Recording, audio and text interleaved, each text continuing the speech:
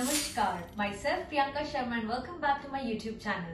In today's video, we are going to learn about few yoga steps on yoga for beginners. We have props like towel, two blocks and a pillow. Since I don't have a bolster, I'll be using a cushion. So let's get started. Friends, before we start with this video, I would like to give you few information guidelines. So first, you need to make sure that you have a mat. Second, wear a comfortable clothes. Third, make sure before you practice, you are in empty stomach. So let's start with the stretching. First stretch, neck. Take a deep breath in, raise your chin up. Exhale your chin to collarbone. So you have to practice this for few rounds to loosen up your neck. Breathe out your chin to collarbone. Also you can move your both the palms next to your thighs. Breathe in. Breathe out, turn your head to your right side and feel the stretch in your left side of your neck. Bring your neck back to the center. Breathe in. Breathe out, turn your head to your left. Make sure your shoulder is not moving. And then come back to the center. Then place your palms on your knees. Then third stretch is place your palm on your left ears. Breathe in. Breathe out. You bend your neck towards your right and focus on your left side of your neck. Feel that stretch. Place your palm down on the floor and keep breathing. Relax your face. Then come back to the center. Relax your right hand. Then fix your left palm over your right ears. Breathe in. Breathe out. Bend your neck to your left side and feel the stretch in your right side of your neck. And stay here for a few breaths. Inhale and exhale and then come back to the center. Relax your left hand. And the fourth stretch is your, your chin to collarbone and start moving your neck two times each side. So this is one of the best exercise for those who are beginners and those who want to start with something so neck you need to relieve the pain from the neck. Then comes the shoulders. After your neck your shoulders stretch. So let's move our shoulders. Rotate your shoulders. One two three. Then reverse. Three two one. Also you can use your finger uh, and your thumb on top of your shoulders and start with the arm rotation. Bring your elbows together even this you can practice for your shoulders and your arms. This will have a very good effect in your shoulders and then reverse rotation. It's a few rounds you can practice this and then relax your shoulders. Then you can also rotate your wrist. Move your wrist very slowly. Keep breathing. Breathe out then reverse rotation fingers moving your fingers so all these Sukshma Vyayam or joint movements are very important before you start with the asanas and then relax. Then we extend our both the legs out and then we free up our leg muscles. We relax our knee joint, we relax our ankles so you can rotate your ankles nicely and then reverse rotation. So before we start with the asana, also toe fingers and loosen up your feet. You can also make a twist here. So twist your spine on the left side taking the support of your right palm and feel that stretch in your spine and then bring it back to the center. Then the other side place your left palm over your right knee.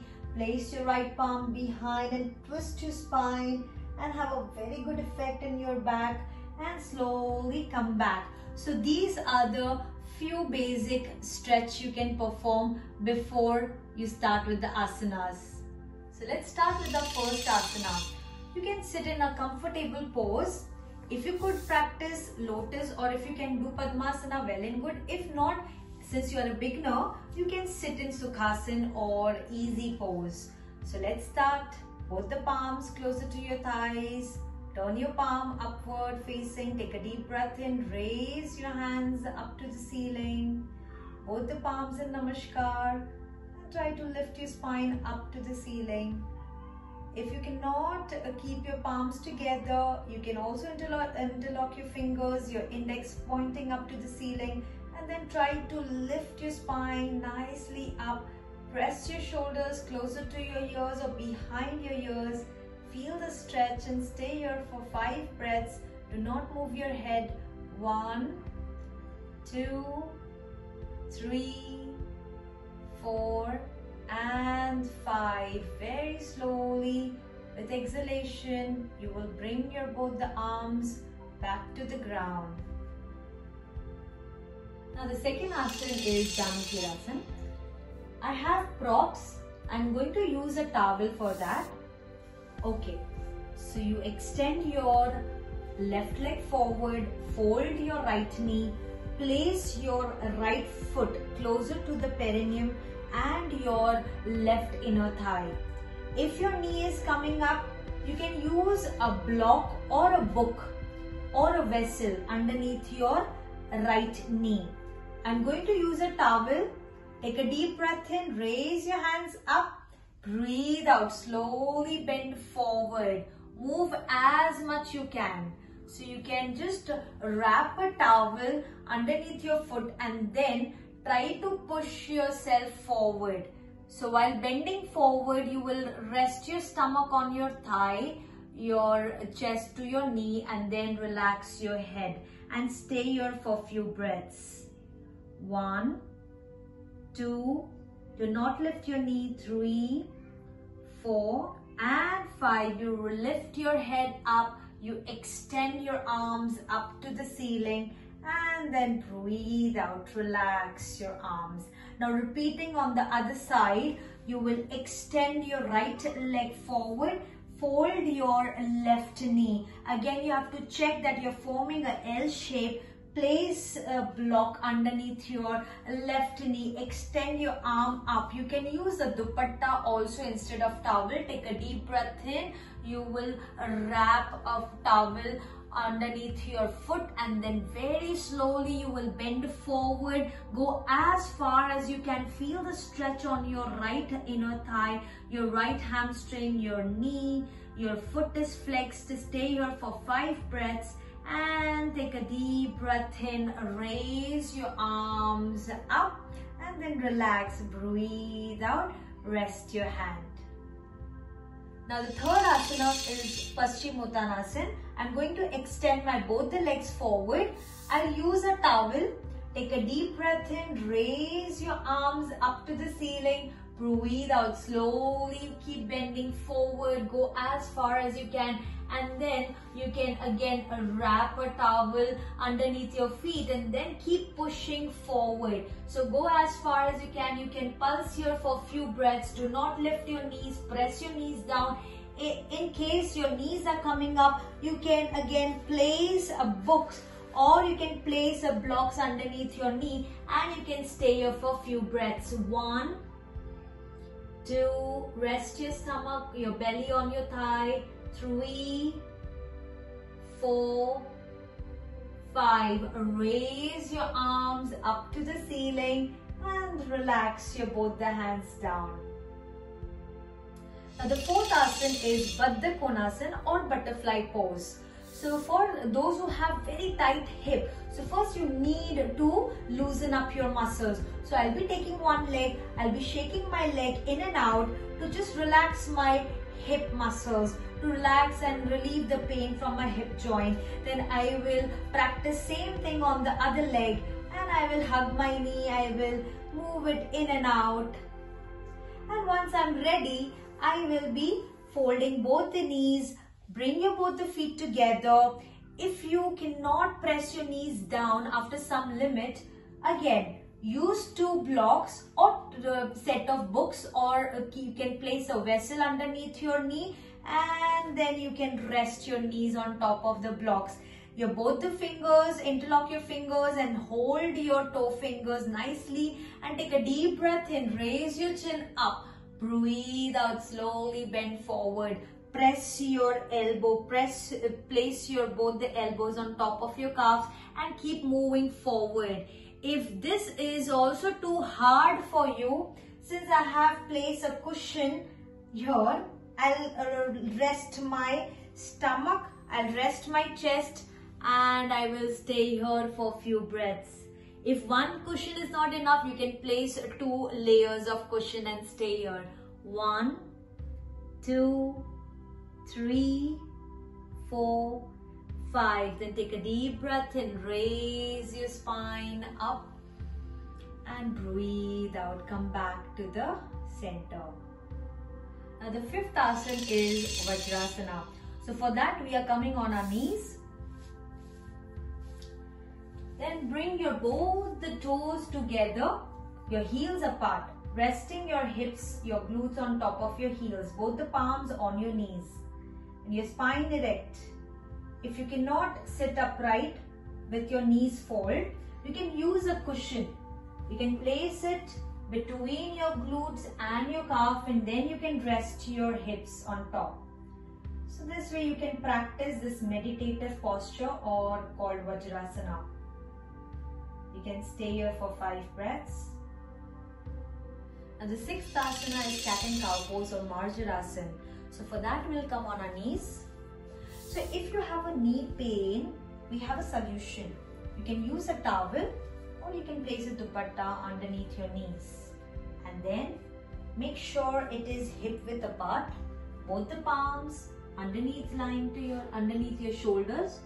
Your spine neutral. Look in front. Breathe in. Raise your tailbone up to the ceiling. Lift your chin up. Put the equal pressure on both the palms and both the knees your ankles flat, toes pointing at the back, your chin to collarbone, tuck your tailbone in, your abdomen in, look to your stomach. Do this for a few rounds. Inhale, raise your spine up. So with this practice, your spine will become more smooth. It will become more flexible as you practice daily. And here we finish our sixth asana. A seventh pose is known as Shashankasana or child's pose. So we are going to sit in Vajrasana. Both the knees and your thighs apart. Take a deep breath in. Raise your arms up. Breathe out. Slowly bend forward. If, if while moving down, if your hips are coming up, you will use a cushion. Place a cushion between your thighs and then same practice slide your both the palms in front and then you can relax here for a few breaths and rest your spine rest your head and then slowly you can raise your chin up and then you can slide your palms at the back so here we finish child's pose now the eighth asana is Adho Svanasana or downward facing dog since those who have a very tight hamstring, they might not rest their heels completely on the floor. So I'm going to use again two blocks, placing it at the back with slight distance apart. And then both the palms, I will first measure my both the hands and same equally I'll measure my feet so shoulder to my wrist in line. So both the hands are parallel to each other. Fingers are wide and open. I'll look between my palms. Breathe and lift your hips from your heels. Tuck your toes and then raise your glutes up to the ceiling. Now, I'll just move slightly behind to reach towards my prop, to reach towards my blocks. So what I'm doing is I'm resting my heels on top of the blocks. I'll again check the measurement from my palms to my feet. Both the palms and my both the feet are parallel equally apart and then I'll try to push my navel, my stomach towards my thighs and then I'll rest my neck. I'll try to open my chest out and I'll stay here. So those who have too tight hamstring, so it, instead of folding your knee, you can use a prop and you can rest here for five breaths. Five, four, three, two, one. And then we will come down very slowly, resting in child's pose and relax your blood circulation.